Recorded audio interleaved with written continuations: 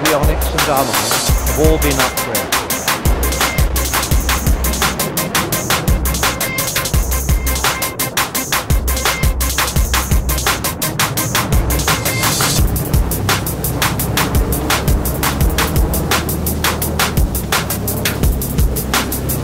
Up into the coast, the most famous trademark of Russian cycling.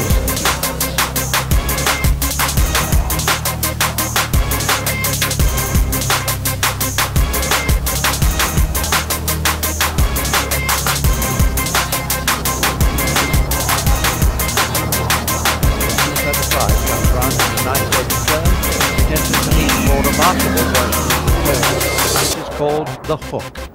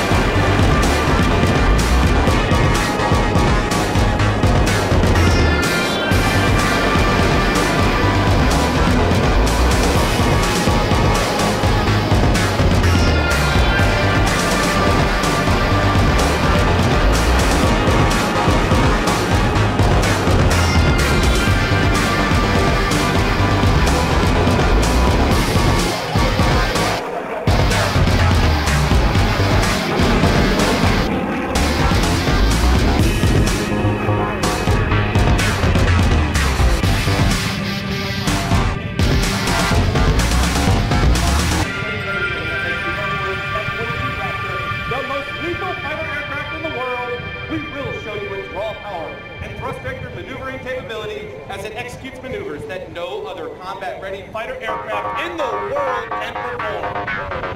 Folks, you've ever wondered where